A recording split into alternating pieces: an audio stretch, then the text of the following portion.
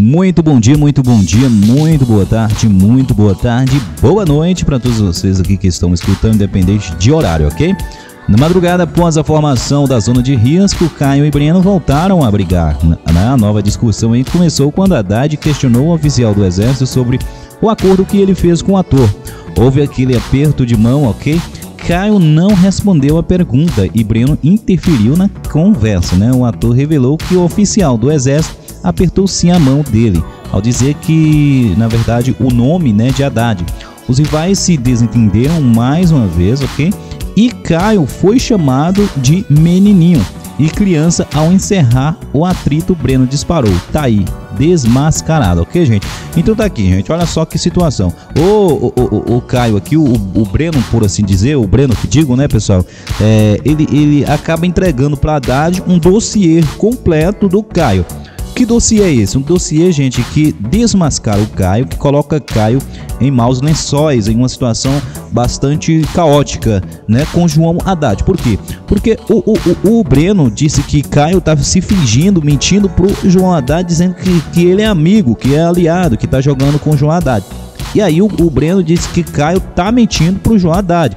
E ainda entrega aqui, galera, um dossiê aonde ele afirma que o Caio né? Uh, o Caio fez uma estratégia aí quando ela era dona da casa e disse que queria colocar o Haddad na zona de risco. Daí então o Haddad ficou surpreso com aquela informação que ele obteve com o Breno, né, gente, com relação ao Caio, né? E ficou ali uh, estarrecido com estas informações, porque uh, são informações aí que, na verdade, né, alugou praticamente o triplex na cabeça do, do, do, do Joe Haddad, ok? Então não sei se é a estratégia do Breno, ok, para que venha derrubar o Caio dentro do jogo ou se ele está, digamos que, uh, uh, uh, falando né, a verdade com relação a essas informações.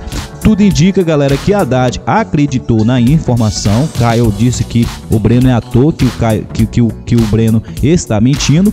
E aí o Caio ainda chama Haddad para conversar e disse: Vamos conversar, Haddad, que eu vou te explicar melhor a situação, explicar sobre a veracidade dos fatos, o que realmente ocorreu nas conversas. E o João Haddad ficou ali tão, é, é, tão é, é, digamos que chateado com a situação, foi cuidar do Fernando, né, galera? Foi dar apoio ao Fernando e não quis muito escutar o Caio.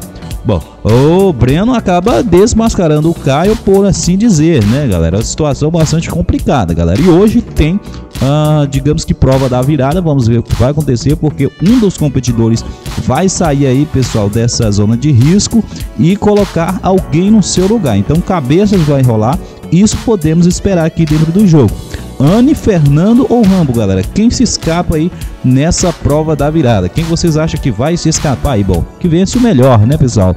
Então, comenta aqui, gente. Vocês acham Caio um cara falso ou vocês acham Caio um cara verdadeiro, íntegro, né, e reto em suas ações? Comenta aqui que eu quero ver o seu comentário e daqui a pouquinho voltamos com mais informações quentinhas para vocês, ok?